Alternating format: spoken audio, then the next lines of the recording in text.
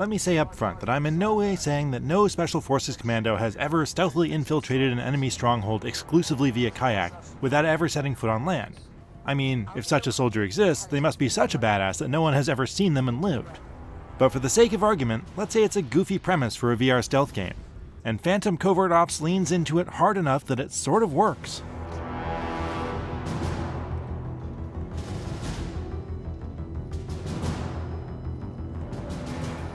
Given the fact that you're effectively half man, half boat, it's bemusing how seriously Phantom Covert Ops takes itself. You've got the amazingly generic name, and the paint by numbers Tom Clancy story about a former Soviet madman planning a biological weapons attack is played 100% straight.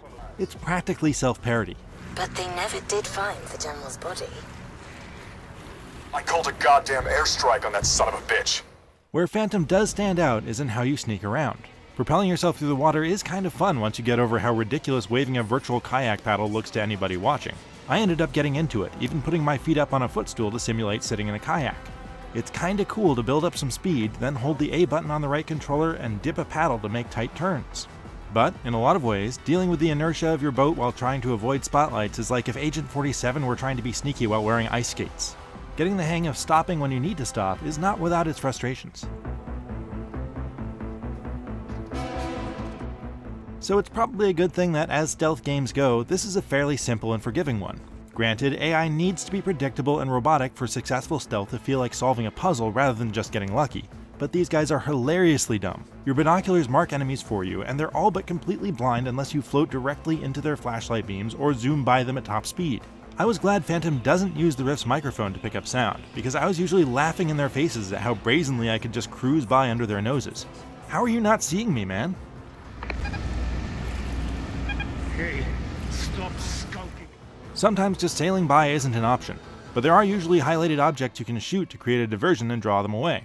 Failing that, you've always got a silenced pistol that can drop all but the most armored of enemies with a single headshot. Zero two, focus on stealth. Avoid conflict wherever possible. You even get about 5 seconds of slow motion to take out whoever just spotted you. That doesn't mean it's always easy. If you get cocky and don't stop and recognize patterns in enemy movements, you can easily find yourself taken by surprise, and you die quick. A couple of boss fight segments killed me multiple times as I figured out how to avoid invulnerable attack helicopters and snipers. And the real challenge is running up the score by completing a level quickly, silently, and non-lethally. On my first playthrough, I only scored 1A, so even though the campaign is only about 4 or 5 hours long, that's where the replayability comes from, and I could see myself chasing a few better scores. It is kind of odd that, for most of Phantom 7 missions, you are armed to the teeth. A silenced pistol, an assault rifle, and sometimes a silenced sniper rifle, or another fun toy or two are strapped to your body and boat, and you'll often have explosives you can toss. Usually I had much more ammunition than I could carry, which was confusing because this is a game about avoiding firefights. You're actually penalized for unnecessary kills in the post-mission scoring screen. What am I supposed to do with all these bullets? I did like being given permission to take out certain VIP war criminals when their identities were revealed by a scan, but otherwise my guns didn't get much use beyond creating diversions by shooting marked targets.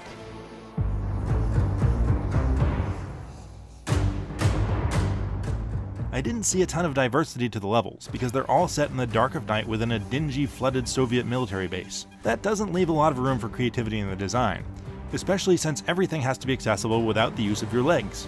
It does introduce a few hazards, like mines, to keep you from getting too complacent, though those were so easy to avoid that I never actually ran into one. It doesn't help that even on the Rift S running off a GeForce RTX 2080 with the settings maxed out, Phantom doesn't look fantastic. Texture resolution gets obviously low when you get close to a wall, and soldier animations are bare bones. Notably, for such a wet game, there's not much by way of wake and splash effects. But the trade-off is you can play on the modestly powered Oculus Quest too. When you're done with the campaign, there are a bunch of simple shooting gallery and timed kill 'em all challenges you can unlock and compete in. Plus, you get the free play option that lets you revisit any of the levels with any equipment you choose. Those extras do manage to make it feel a little meatier.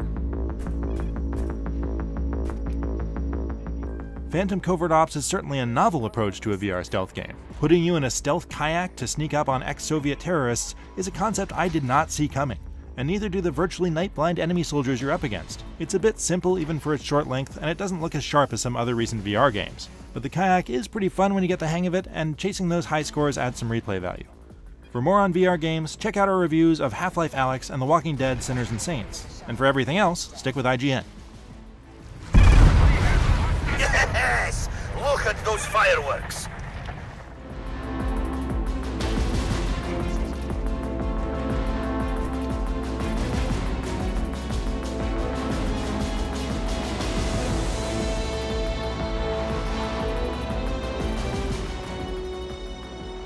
Murder Canoe, Murder Canoe. When there's a murder you wanna do, you should call the Murder Canoe. Watch out! Here comes the Murder Canoe.